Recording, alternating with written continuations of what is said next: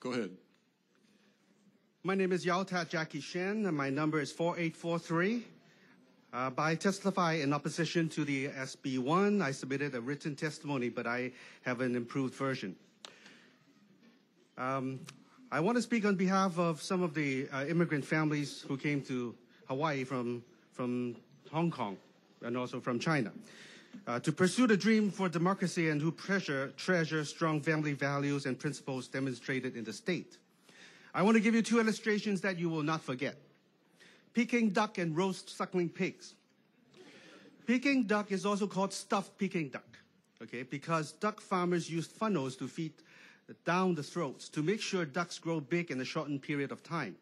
They will then be slaughtered and roasted. This is not natural and not humane. Sadly, against our will, many pol- political leaders are also forcing the majority of the people in Hawaii to accept the same-sex mm-hmm. marriage bill in an extraordinarily short period of time. Now, roast suckling pigs are not just roast pigs. They are piglets still feeding on its mother's milk. Suckling pigs are slaughtered between the ages of two to six weeks. Now, pig farmers seize the piglets from the parents against their will and against the parents' will. Now, put them in the oven, roast them, cut them into pieces. Now, to allow the dependent children to be snatched from the protection of the parents are brutal and devastating. Unfortunately, some in the legislature is allowing SB1 to do the same to the children.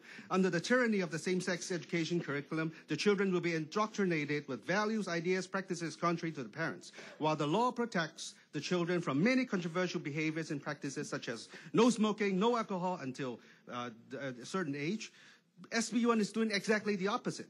If aggressively rips parents of their natural and legal rights to protect and guide the children with traditional values and are proven to, that are proven to be safe and replaces it with indoctrination of an extremely aggressive same-sex lifestyle curriculum.